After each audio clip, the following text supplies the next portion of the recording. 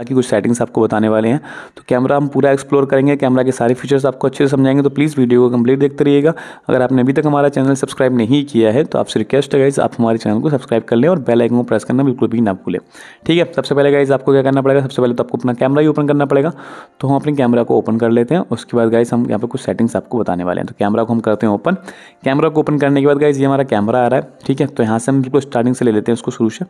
ये गाइज़ आपका ठीक है फ़न जो है आपको गाइज़ फ़न टाइप के आप यहाँ से सिंपल तरीके से जो है फ़ोटो क्लिक कर सकते हैं। यहाँ से आपको पोर्ट्रेट का ऑप्शन मिलेगा तो यहाँ से यहाँ पे पोर्ट्रेट का आप डेप्थ अपने हिसाब से डाल सकते हैं सिंपल तरीके से। यहाँ से आप फ़ोटो पे क्लिक करेंगे तो फ़ोटो की सेटिंग्स है। यहाँ पे आपका इस फ्लैश को ऑन ऑफ़ कर सकते हैं, यहाँ से आप टाइमर लगा सकते हैं, ठीक है। यहाँ पे आप जो आपका रिश्यू है वो आप कर सकते हैं। ओके गाइस इसके बाद यहाँ पे आप सिंपल तरीके से देखेंगे तो यहाँ पे आपको जो आपका रिश्यू है वो करेंगे, यहाँ पे आप फ़िल्टर लगा सकते हैं।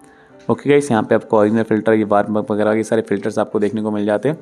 थोड़ा हम बैक करेंगे, ठीक है गाइस तो यहाँ पे आपका फेस फ़िल्टर माई फिल्टर्स का ऑप्शन मिल जाएगा। ओके गाइस यहाँ पे आप देखेंगे तो यहाँ पे हम वीडियो वाला सेक्शन देखने को मिल जाएगा। यहाँ से आप वीडियो शूट कर सकते हैं। अगर हम मोर पे क्लिक करेंगे यहाँ पे, ठीक है? तो यहाँ पे pro mode single take night mode food ठीक है? Panorama micro slomo video slow motion ठीक है? और इस तरीके से आपको सारे ऑप्शन देखने को मिल जाते हैं। ओके गाइस अब हम बात करते हैं इसकी सेटिंग की तो यहाँ पर हम सेटिंग पर क्लिक कर लेते हैं।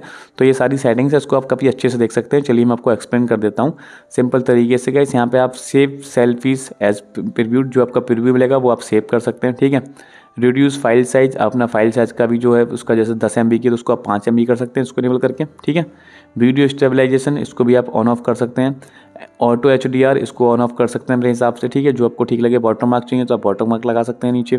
ओके गाइस तो इस तरीके से ये सारी सेटिंग्स आपको देखने को मिल जाती है। तो आई होप कि गाइस आपको हमारी वीडियो अच्छी लगी है। वीडियो अच्छी लगी वीडियो को लाइक कर दो चैनल सब्सक्राइब नहीं किया चैनल को सब्सक्राइब कर लो। तो हम मिलते हैं आपसे किसी अगली इंटरेस्टिंग वीडियो में। तब तक के लिए bye bye and take care